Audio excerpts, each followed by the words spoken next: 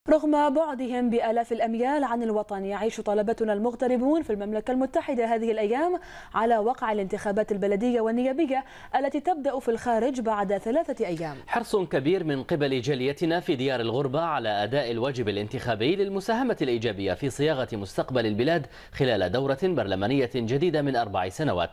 نظرة على طموحات أبناء البحرين في لندن على الصعيد البرلماني والبلدي في تقرير مراسلنا صابر أيوب من العاصمة البريطانية لندن. مشاغل الجالية البحرينية في بلاد الغربة كثيرة وخصوصا لدى الطلبة المبتعثين حيث تتوزع أوقاتهم بين الدراسة والتحضير للاختبارات وحياة اجتماعية ينقصها طعم الأهل والوطن. إيقاع الحياة في بريطانيا سريع جدا الوقت لا يرحم لكن مع ذلك لم ينسى هؤلاء الطلبة أبدا الاستحقاق الكبير. عرس المملكة الانتخابي لاختيار ممثلي الشعب في المجالس المحلية والنيابية.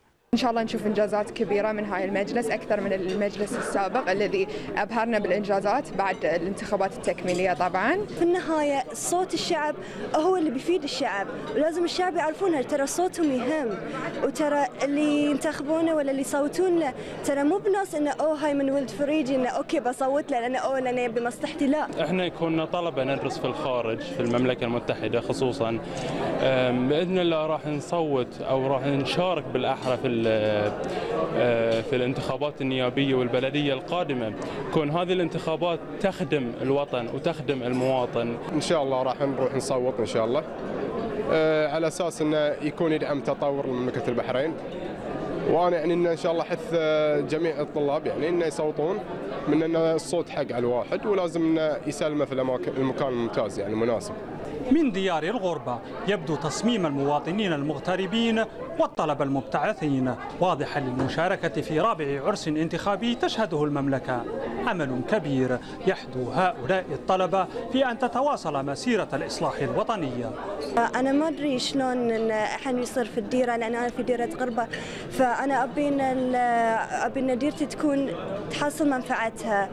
وأعرف إن أنا صوتي يهم وأنا أبي أنا أروح أصوت إن شاء الله وقت التصويت. أتوقع من البرلمان إن هم يكون في طبعا تطوير من ناحية ايجاد فرص عمل في في البحرين للطلبة المتغربين سواء موظفين مبتعثين. إحنا كطلاب آه، هدفنا الرئيسي هو رفع آه، راية بلدنا وخدمة وطننا بعد ما نكتسب هذه المهارات اللي ناخذها عن طريق آه، الدراسة في الخارج في أعلى الجامعات مستوى في التعليم. يسعدني جدا إن أمور الانتخابات تسير كما هي في الدول المتقدمة والمتحضرة وهو مظهر حضاري في الحقيقة قد يمر بمنعطفات لكن التجربة ناجحة.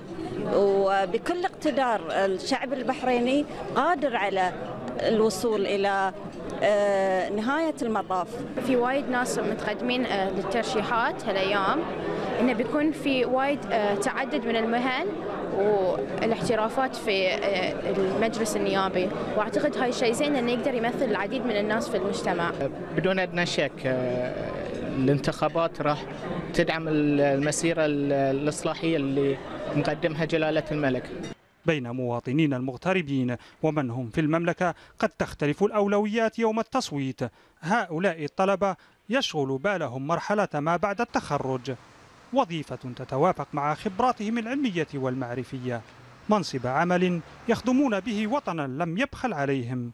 والدليل ها هم يدرسون بأرقى جامعات العالم. لتلفزيون البحرين صابر أيوب لندن.